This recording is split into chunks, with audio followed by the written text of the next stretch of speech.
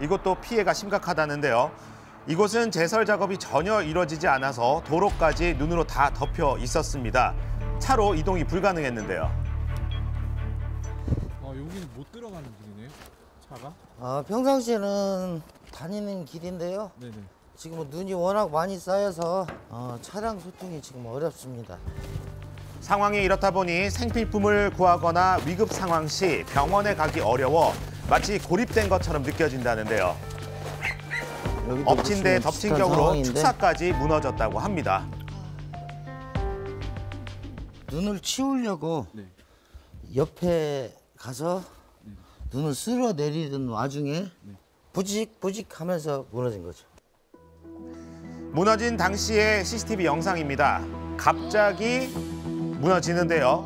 이곳은 오리를 키우는 축사. 그런데 다행히 지금은 오리를 키우는 시기가 아니라 축사는 비어 있었던 상황이었습니다. 그나마 더 큰 피해는 막을 수 있었다는데요. 하지만 축사가 총 여섯 있는 무너졌습니다. 32mm 파이프를 어, 설치를 했음에도 불구하고 이 이렇게 축사가 가라앉는 것은 거의 뭐 불가항력이라고 봐야죠.